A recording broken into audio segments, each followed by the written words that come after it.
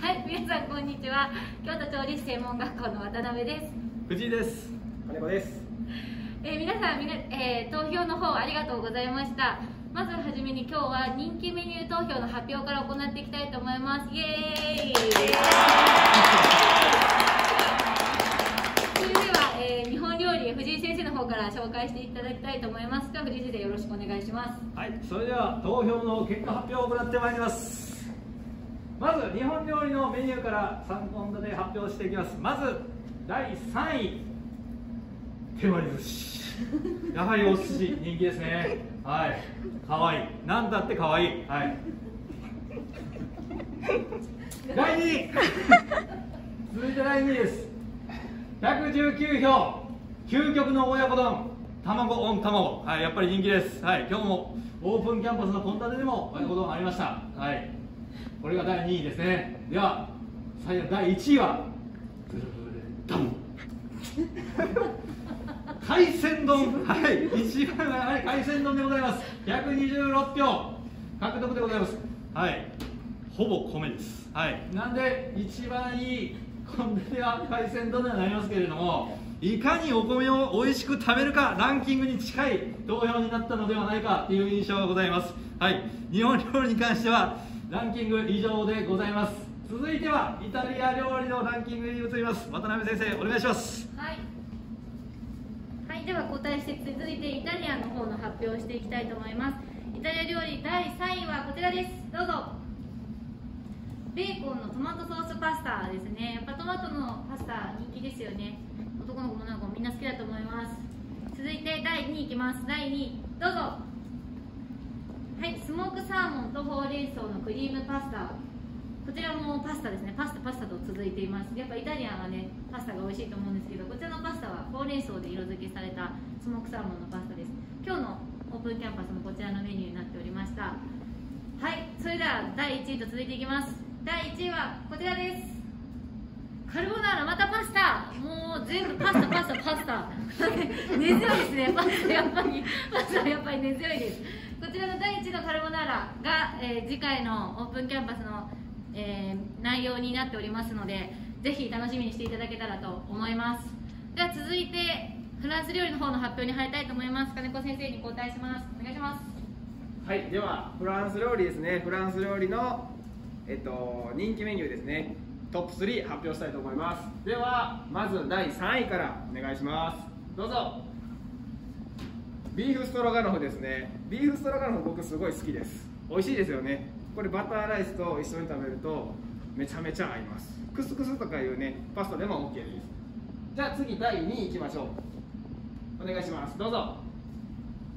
フレンチトーストここで初めて甘いものが来ました甘いものであのフレンチトースト結構食パンで作る方多いと思うんですけども写真に載っているこのフランスパンですね。フランスパンで作ると格別に美味しいですね。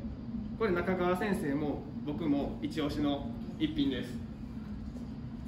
じゃあ続いて栄えある第1位ですね。フランス料理の第1位。どうぞ。不動の人気お肉です。牛肉のステーキですね。このマデラソースっていうのはあの甘いソースですので、まあ、牛肉と甘いソースを合わせて食べる人気のメニューです。でこのマデラソースのステーキ、えー牛肉のステーキマデラソースなんですけども今から中川先生にスペシャルデモンストレーションをしていただきます。ということでこの第1位のメニュー中川先生に今から作っていただきます。ではよろしくお願いいたします。はい、えー、ただいま、えーお肉を焼きなさいという振りがあったので今からお肉を焼いていくんですけども、はいえっと、できれば一皿、えー仕上げるときに、えー出来たてのものを食べていった方がいいということがあるのでまずお肉焼いちゃうとソースができてないという話になるのでさっきソースを作っていきます。で今日はちょっと時間の関係上前もって作っておりますけども、えーじゃがいものドフィノワっていうあのグラタンみたいなね、えーそういったものを付け合わせに使いたいなと思うのでこういうちっちゃな、えー器に入れて今から、え焼き色をつけておきます。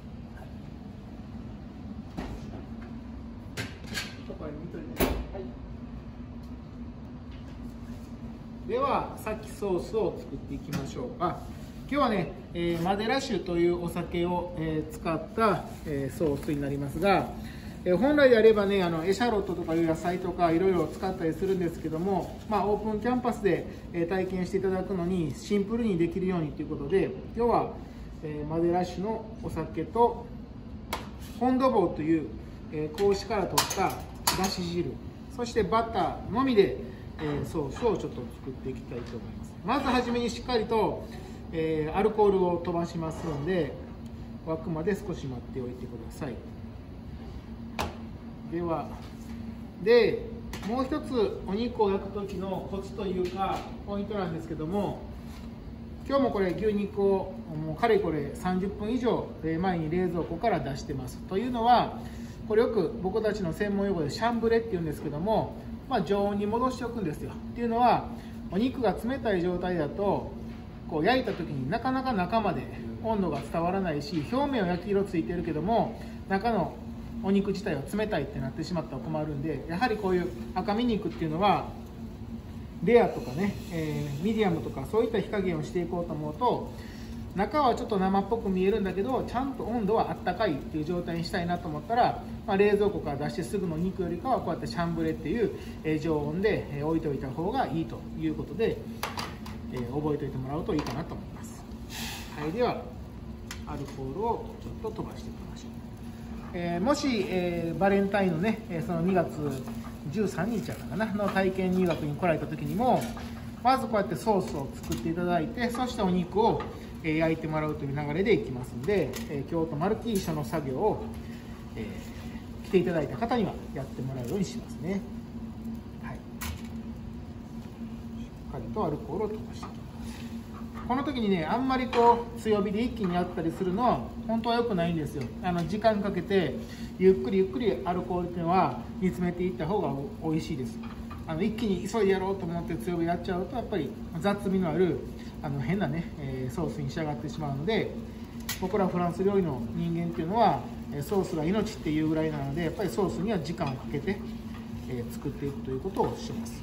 で今はねこういう直接火にかけてるんでどうしてもこの鍋の縁っていうのがあの焦げてきたりしやすいんですけどもこちらを映してもらうと分かるんですけどこういうフラッグとかフィントップってよく言うんですけどもこういうところを使うと本当はもっとね、えー綺麗にいけるんですよ。っていうのは直接こうここが一番熱くてだんだん外に行けば温度が下がってくるっていう感じなのでこう置いちゃうと火がね口に当たらないんですごくこう煮詰めていったりするには使いやすいあの調理機器って言いますか？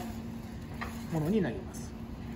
はい。ではしっかりとアルコールを飛ばして煮詰めていけたら、まあ、大体3分の1ぐらいですかね、えーぐらいの量まで煮詰まるとここに先ほどの本堂棒を加えます。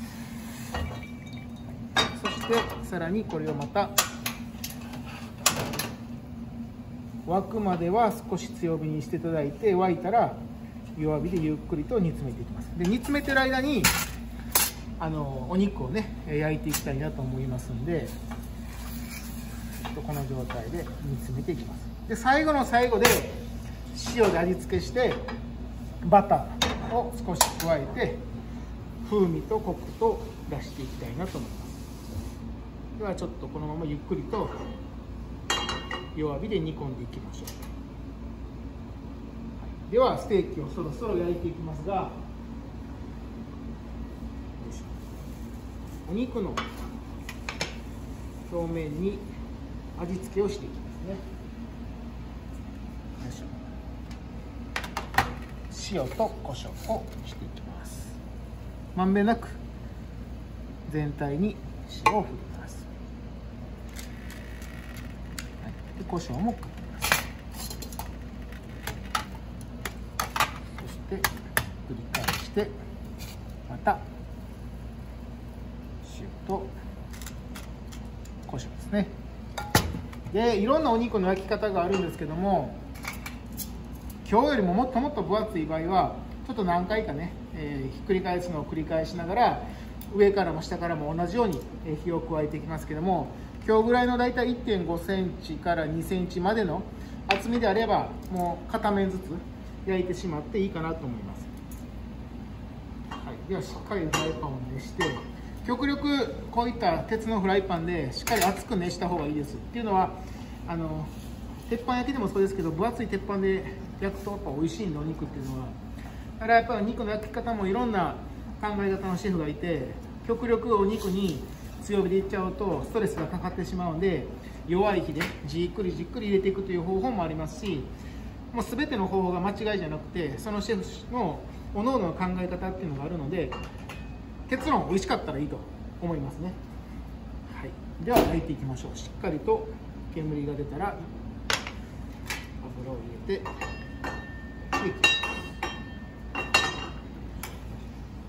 すはい。はい。お肉の厚みによって塩コショウの量を変えたりしますかという質問です。お願いします。変えます。熱くなればやっぱりその分しっかりとあの塩を振らないと表面にしか塩ってないので極力その表面についてる塩で分厚い中まで食べれるだけの味付けをするっていうのは重要ですね、もう一つ聞いております。はい。分厚いのは横も焼いた方がいいんですか？はい、いや基本的にあんまり分厚かったら焼きます。けど大体こういう場合は僕ら焼かずに分厚い場合ってちょっと多めの油入れるんですよ。多めの油とかバターを追加して入れていって最後これをスプーンでかけながら焼いていくと結局かけた油が側面されていってくれるんであのわざわざ側面で焼こうとしなくても大丈夫です。ありがとうございます。皆さん中川先生質問に答えてくださるのでどんどん質問の方送ってきてください。1質問500円で売ってます。嘘ですよ。無料ですよ無料なのでどんどん送ってきてください。お肉はねしっかりと色をつけた方がいいので香ばしく色をつけて。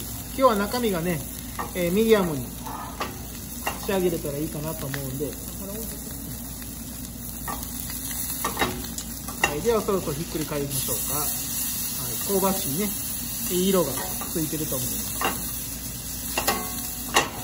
では先ほど言ってたちょっとアロゼっていうのをね油をかけていく方法をちょっとお見せしましょうか。少しちょっと油を足して。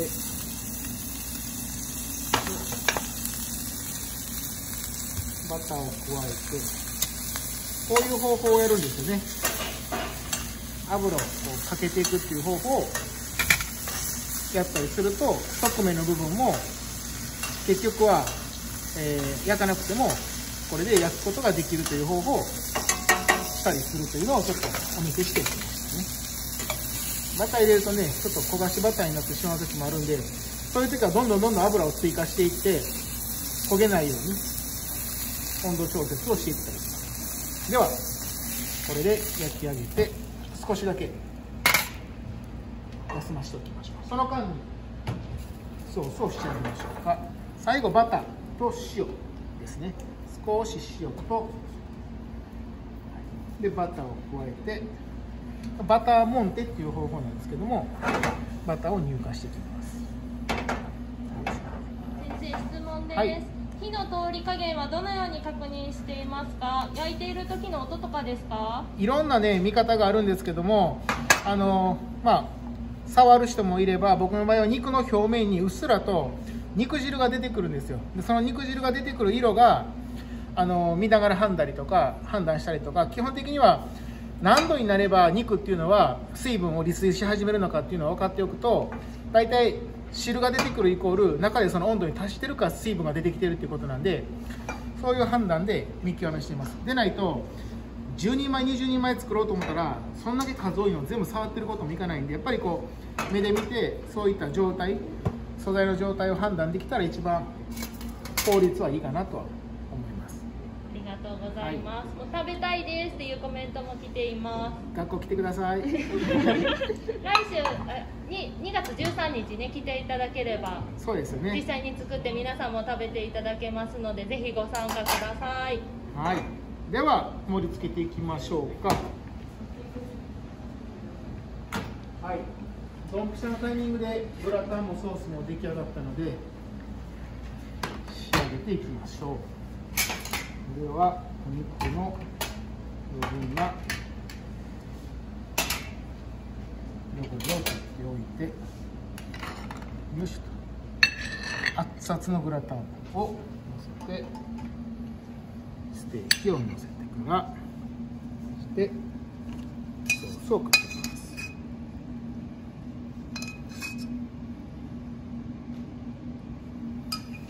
最後に緑色のハーブを少し添えて完成という形になりますので本番こちらを皆さんに作っていただきます。